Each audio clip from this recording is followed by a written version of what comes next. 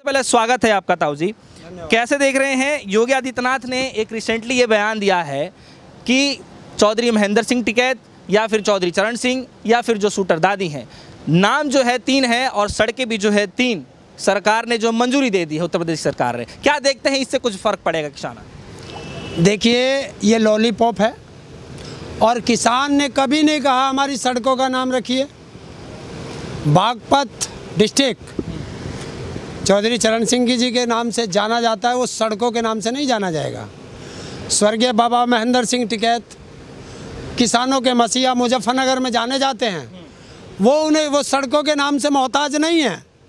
और दादी shooter shooter दादी हमारी, वो शूटिंग के उससे जानी जाती है जौहड़ी शूटिंग रेंज है उनके नाम से। और ये क्या कर रहे हैं? यहाँ चौधरी, ये सब वोटों की राजनीति है।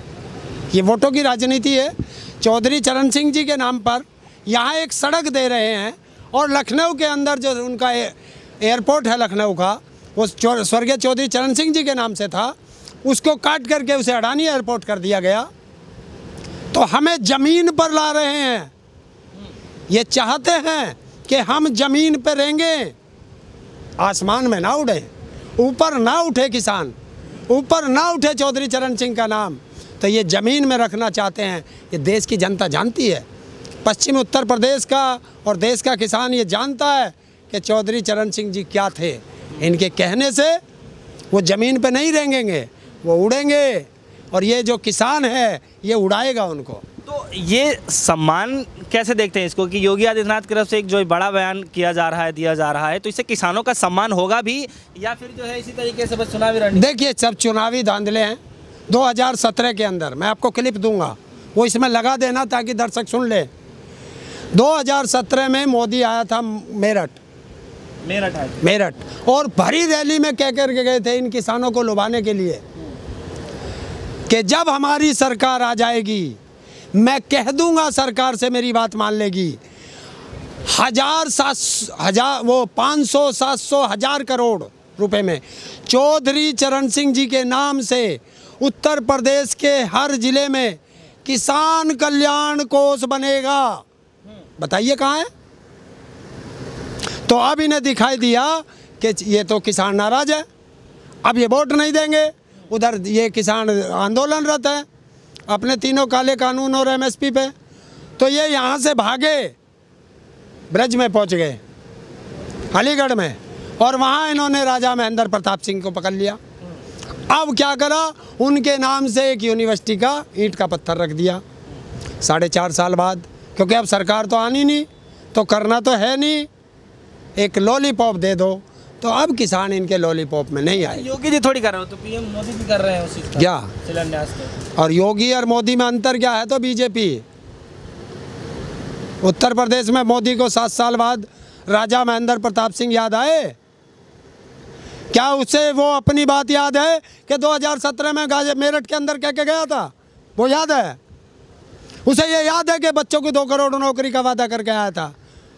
ये सारे वादे अब हर किसान की रट पे ज़ुबान पे है। हर बेरोजगार की ज़ुबान पे है। ठीक है। आप रोज़गार की बातचीत कर रहे हैं क्योंकि हाल ही में उत्तर प्रदेश में चुनाव है। तो अभी रिसेंटली जो है योगी आदित्यनाथ जी प्रेस कॉन्फ्रेंस करते हुए जो है बता रहे हैं, क्योंकि हर राज्यों से एक बड़ा राज्य उत्तर प्रदेश माना जाता है। और उसके मुताबिक जो है, बेरोजगारी दर जो है, अन्य सरकारों के मुकाबले और पिछली जो सरकार उत्तर प्रदेश में रही हैं, उसके मुकाबले जो है, पाँच से सात फ़ीसद जो है घटी है बेरोजगारी। आप ऐसा मत समझिए। तो बेरोजगारी से जो है कम करने में सरकार माहिर रही है। ये नहीं है कि बेरोजगारी बढ़ा रही है सरकार। ऐसे योगी आदित्यनाथ जी कह रहे हैं। पूछो योगी आदित्यनाथ जी से कि जिस दिन उन्होंने सत्ता संभाली थी उत्तर प्रदेश में बेरोजगारी कितनी थी और भारत में कितनी थी? 40 करोड़ बेरोजगारी थी भारत के अंदर। गरीब। गरीब लोग थे 40 करोड़। और आज 80 करोड़ है। ये आप तो बताइए तो बताइए। चलिए इसे भी छोड़ दीजिए। आपने ये कह दिया कि आपदा के थे। तो बताइए मोदी जी कि आपदा के अंदर स्विस बैंक में काला धन कितना बढ़ गया? जब आपदा है यहाँ तो कुछ है ही नहीं। तो फिर हिंदुस्तानियों का स्विस बैंक में काला धन कैसे बढ़ गया? वो बता दो। बिल्कुल मुद्दों पे बात करो। चलिए ठीक है आप काला धन पे चले गए। मैं अब उस वाले मुद्दे पे तो जाऊँगा नहीं कि कह रहे थे कि पंद्रह लाख रुपए ला के दिया जाएगा और वो तो सब हाँ शाह जी कह रहे हैं कि ये जुमला था चुनावी एक है वो था एजेंडा था। सवाल यहाँ पर ये है कि योगी आदित्यनाथ जी ये कह रहे हैं कि पिछले जो सरकारें रही हैं वो सिर्फ़ अपनी मकान और अपने ऐशो आराम के लिए जो व्यवस्था करते थे। लेकिन इस सरकार ने जो है करीब बयालीस लाख लोगों को जो है घर मकान बनवाया है। तो इस सरकार ने कहाँ मतलब उड़ा दिया पैसे? काम में ही लगाए हैं। प्रवर्ती सरकारों ने तो कुछ भी नहीं किया। उनसे कहो कि कल उन्होंने सीतापुर में एक किसान नेता को हाउस अरेस्ट कर रखा था। और उसका जो महल है किसान का, ज़रा वो भी दिखा दे, मैं आपको फ़ोटो दे दूँगा। ऐसे छप्पर में था। जिसे हाउस अरेस्ट कर रखा था, वे किसे दिए? किसे दिए वे मकान? सब बकवाद है, सब झूठ है, सब प्रोपगंडा है। सब अपना पेट भर रहे हैं राजनेता। जनता की तरफ़ नहीं देख रहे। अगर जनता की तरफ़ देखते और इन्होंने इतना अच्छा काम किया तो फिर पोस्टर दिल्ली में और कर्नाटक में क्यों लगवा रहे हैं? अच्छा काम किया, घर बैठो, जनता वोट दे देगी। अगर तुम अच्छे हो तो तुम्हें दूर से लोग पहचानेंगे। और अगर तुम नालायक हो तो चाहे कितना भी अच्छा बन लो, जनता तुम्हें नकार देगी। और जनता नकार चुकी है। चलिए तो किसानों पे क्या अभी भी उम्मीद है कि जिस तरीके से अभी पंजाब के अंदर में जो है, नए मुख्यमंत्री मुख्यमंत्री पद के अभी बने हुए हैं, चेहरा, अभी चेहरा क्या बन भी, शपथ भी ले लिया उन्होंने। सवाल यहाँ पर यह है कि जिस तरीके से उन्होंने बनते ही किसानों के पक्ष में एक बड़ी बात कह दी है कि जब भी किसानों पर कभी आपदा आएगी तो मेरा सर सबसे पहले होगा।